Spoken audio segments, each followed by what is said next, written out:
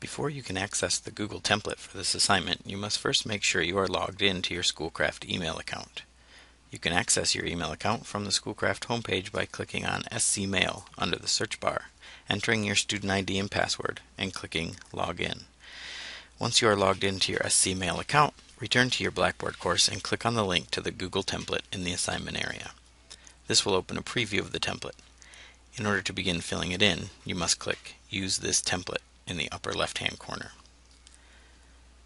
You can add pictures to the template by selecting Add Image from the Insert menu or by clicking the Add Image icon in the toolbar.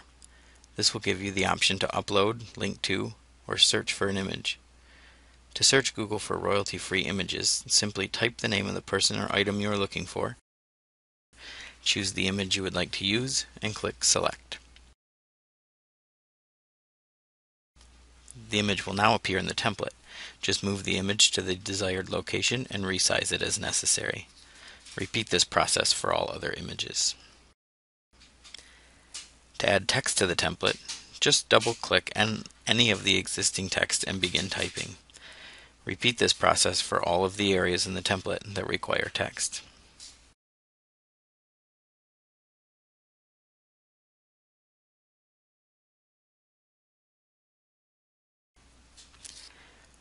When you have completed filling in the template, you will need to save it. Select File, Download As, and save the file as a PDF document.